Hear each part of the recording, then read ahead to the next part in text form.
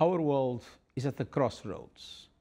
The COVID 19 pandemic, the climate crisis, and the expansion of digital technology into all areas of our lives have created new threats to human rights. Exclusion and discrimination are rampant, public space is shrinking, poverty and hunger are rising for the first time in decades, millions of children are missing out on their right to education, inequality is deepening, but we can choose a different path.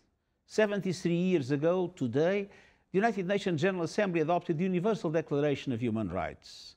The principles set out in this simple declaration remain the key to realizing all human rights civil, economic, cultural, social, and political for all people everywhere.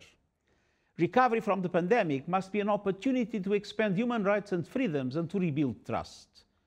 Trust in the justice and impartiality of laws and institutions. Confidence that a life of dignity is within reach face that people can get a fair hearing and resolve their grievances peacefully. The United Nations stands for the rights of every member of our human family. Today and every day, we will continue to work for justice, equality, dignity, and human rights for all. Happy Human Rights Day.